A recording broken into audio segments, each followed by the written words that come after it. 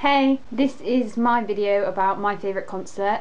Hopefully, if it all goes to plan, you should get a video every single day this week. If we can all upload ours. Fingers crossed it works this time. If anyone knows me, they'll know I'm quite indecisive and I can actually pick my favourite concert. So I've kind of cheated a bit. And it's um there's my favourite concert and then there's like my two favourite shows which they're both linked together and obviously because they're not a concert because they weren't uh, music so I thought it would be okay to talk about both. My favourite concert was on the 26th of March 2012 and that was Matt Cardle. I went to this concert with my friend Laura. I've been looking forward to this day for like so long because I've liked Matt Cardle like the minute he stepped on X Factor. I've been a fan of him for about two years so to finally see him live was like amazing. Before the show, we waited at the stage door to try and meet him because this was I was not leaving without meeting this man. I was so determined to meet him because I didn't know with people that are in X Factor, they seem to tend to come to Plymouth on their first tour and never come back again. So I thought this could have like been my only chance. But um, when he came, his manager was like, "Oh, um, he's running a bit late, so um, he can only sign stuff." Which I was a bit gutted about because I really did want a picture. But he signed something of mine, and um, I gave him this letter, which is basically me just pouring my heart out to him, which is a bit awkward, but you know. Um, yeah, I gave him this letter, and I kind of spoke to him for a second. He was like, "Oh yeah, thanks, babe," and stuff, and looked me in the eye, and I was just like, dead. And he was really lovely, even though I only got to speak to him quickly. He was really nice, and I was so happy that I finally got to meet him, and he actually like had acknowledged who I was. So that was like dream come true. And then we went into the concert. Um, we were actually sat because we bought our tickets on the pre-sale. We were sat in the third row, right in the middle, so it was really good view. And I have three favourite moments from that concert. The first one was when he sang "First Time Ever I Saw Your Face" because um, he sang that on X Factor, and he, he, he was so flawless and to hear it live I was like so emotional. I was like crying so much. I was just like ah. the song's got a lot of personal meaning to him as well and you could see that he was getting like all choked up and stuff and he looked so upset and I was just like oh my god. My second favourite moment was um, when during Starlight which is if you know Matt Cardle he doesn't really have very like big energetic let's dance around sort of songs. Like Starlight is the closest sort of like jumpy around kind of song that he has and um, I because obviously I was in the third row, but no one stood up in front of me. Loads of people stood up behind me, but no one stood up in front of me. So I was like stood up, and so was Laura, and um, we were just like dancing around and that. And um, and then he like looked over in our direction. And I know people are like, oh my god, he smiled at me, he smiled at me. But literally, shared eye contact and he was smiling at me for about five seconds. I was like, oh my god, oh my god, like about to pass out. And the really annoying thing is, is that every song that he sang that night is on YouTube. Apart from that one, I can't find it. So if anyone's watching this and went and saw Matt Cardle in Plymouth and recorded Starlight, I would really appreciate it if you uploaded your video to YouTube so I could cry over it. And then my other favourite part of the night was um, when he sang When We Collide which was his winner's song of X Factor because you could hear every single person in the room singing along and I love it when that happens that's like my favourite part of concerts when like the whole audience are in with it. We actually left early because because his manager said that he would come out and get pictures after the show. So uh, me and my friend actually left early and we left halfway through his last song Run For Your Life because I like Run For Your Life but it's like my least favourite song by him. And it was quite ironic because we were like running through um, back through pavilions, uh, back through the arena like while he was singing Run For Your Life and we were just there like and we were like running like hell to the stage door and we were like right at the stage door like at the barrier and obviously once everyone else came out I got like so packed towards the back. But um yeah I kind of I got in this argument with my mum because I was waiting there late and she made me leave and like he came out like five minutes after I left which was really gutting. But I did at least I got to meet him once. That was the main thing. I got, got to meet him. I just really really would like a picture with him. And hopefully one day it will happen. Fingers crossed. Merch wise I bought this t-shirt which I'm wearing now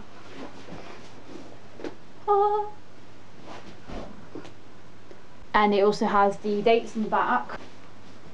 Um, Plymouth is towards the bottom because I think it's fair from the bottom or something because um, we are right near the end of the tour. It's definitely one of my favourite pieces of merch I've ever bought.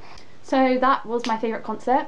The next one I'm about to say is not a concert, it's a show and it's actually two shows but they're both connected to each other. One was on the 17th of August 2012 and the other one was on the 23rd of August 2012 and that was when I got to see Michael McIntyre. I've been a huge fan of Michael McIntyre for so many years yeah, so when me and Cassie found out that he was coming to Plymouth, like on his warm-up gigs, we were like, oh my god, because ever since me and Cassie got back in contact, we've always said we wanted to go see Michael, and we bought our tickets like, I think it was like June 2011, so we had to wait over a year to actually see him.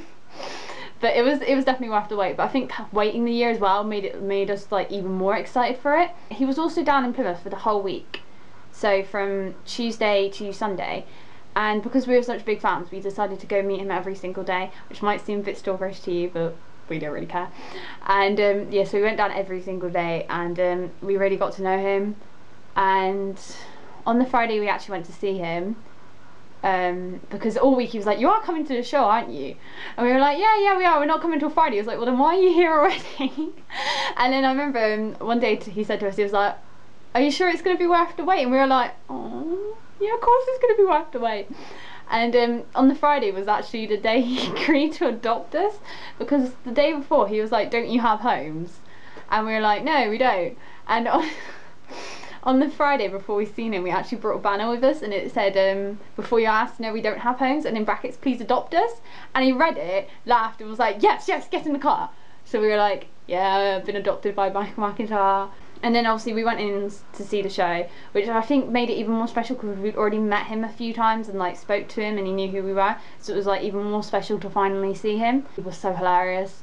Like we were both like laughing so hard and there was one bit he told this joke about Tom Daley, and I didn't expect it to come and it literally asked Kirsty I literally just spat everywhere and I was like had tears rolling down my face and it was so funny and he was definitely worth like waiting like over a year to see. The rest of the week we went to see him still like to meet him. And on the Sunday it was his last day and um he was like oh um because this his because that was still his warm-up gigs and then his actual tour started on um the following week in Cardiff. And he joked around and was like oh why don't you just come to Cardiff with me? And me and Cassie were like well we would if we could but like we couldn't really afford it to be honest. So he was like I'll sort you out tickets. And me and Cassie were like no, his manager gave Cassie his email, and um, yeah, we emailed him, and then he sorted us out tickets, and that was on the 23rd of August, and we went to Cardiff, and it was a very interesting trip, not gonna lie. The only way Cassie's mum could take us is if she went to Birmingham first to drop off on her job, and um, so we went to Birmingham first, then to Cardiff. So like a three hour trip turned into a six hour trip. And we were in this van because it was a delivery job. And it, let, us just say it was very cramped in this van. And obviously me and Cassie were both really hyper about seeing Michael again. And it was literally like the funniest car journey or van journey that I've ever had in my life. Yeah, and when we got into Wales, we um, decided to play spot the Michael McIntyre jokes because there's a lot of jokes he does tell about Wales. And yeah, let's just say it almost resulted in Cassie's mum causing a car crash which is very interesting. And because of this whole time, we wanted to go meet him before the show, but it was getting later and later and later. By the time we got into Wales, it was about seven o'clock and the show started at eight o'clock. So we were all like, oh, we're not going to get to meet him. And then I found out on Twitter that he'd already arrived, so we were a bit gutted about that. And then um, when we got there, we couldn't find the car park for the arena. And then when we finally got to the car park, it was like one of those tiny ones, and it was literally we because all the levels were full, so we were just going round and round and round and round. then we found a car space, and then we did, couldn't find a lift, so we had to run down about 20 flights of stairs.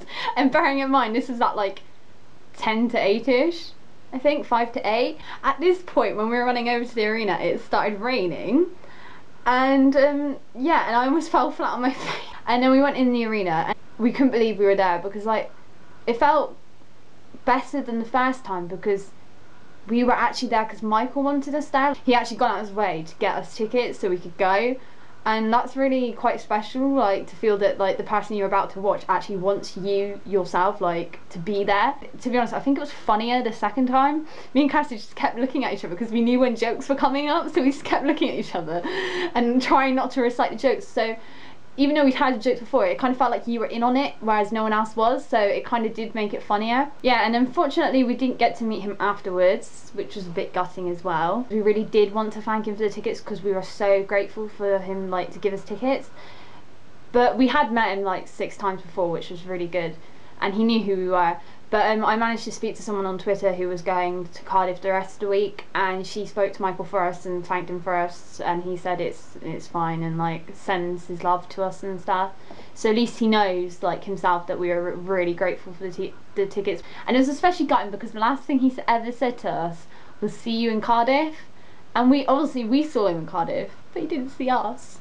Yeah, but I did get this. This was a program, and it was really cheap for a program. It was like six pound and I've already read it like loads of times. And some I'm not gonna lie some of the pictures in this are hilarious. And on our way home from Cardiff we were in McDonald's at like 1am in the morning and I decided to impersonate some of these because I was I don't even know what I was thinking. I was just kind of all over the place and um, really tired. And at the time it seemed really hilarious to me and Kirsty. So um, yeah I think I've rambled on for too long about this I literally just could not pick between two because both Matt Cardle and Michael McIntyre were amazing for different reasons, to be honest. So um, yeah, that was my favourite concert and my favourite show. Um, enjoy the rest of the videos this week and hopefully I'll see you soon.